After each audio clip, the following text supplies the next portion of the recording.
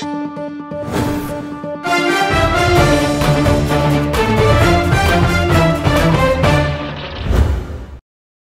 În primul rând, lipsa careva patologii de tip hepatite virale cu transmitere parenterală. Este vorba de vârsta 18 ani, de masă corp 50 de kg, de prezența la fiecare din donator a buletinului de identitate care confirmă prezența acestui donator. Mai sunt și alte condiții relative, de exemplu, lipsa oricărei infecții respiratorii virale acute sau în termen de două săptămâni după ce a suportat infecția aceasta. Astfel, în listă s-au înscris 247 de donatori. Chiar dacă mulți dintre ei nu au mai donat sânge până acum, spun că sunt pregătiți de noua experiență. Moral, mă pregătim mai mult, adică eu am mai donat.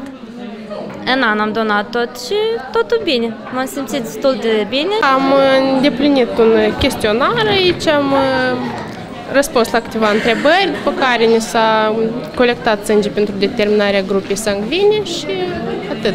Am un cabine, dispoziții și atât.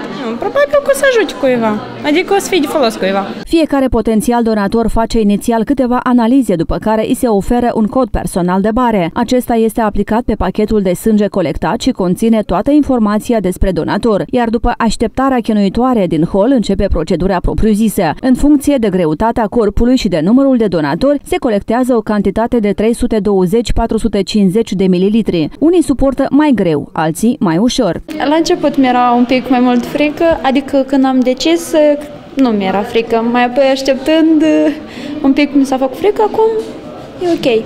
Dar în moment mă simt bine. Parcă nici nu, nu s-a întâmplat nimic.